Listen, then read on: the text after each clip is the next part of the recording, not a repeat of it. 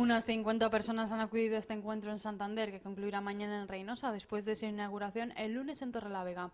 Hoy se ha ofrecido a los participantes tres charlas por Cristina Rodríguez, delegada de Participación Social de la Policía Nacional, Blanca Villalte, que participa en el área de Política Social de Comisiones, y la antigua directora general del ICAS. Ha inaugurado la charla el secretario general de esta federación, José Antonio Calderón, quien ha asegurado que se pretenden dar a los participantes elementos para defenderse de la pérdida de derechos. Porque es que nos mentalicemos a ser eh, agentes activos de la ofensiva que las políticas neoliberales están teniendo en el aspecto del recorte de los derechos sociales.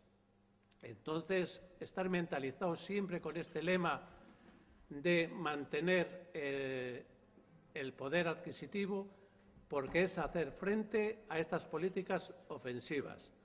Y mañana se trasladan a Reynosa, a la Casona, donde además de las conferencias se rendirá un homenaje a los inscritos en la Federación Estatal de Pensionistas, que han cumplido 80 años en 2013.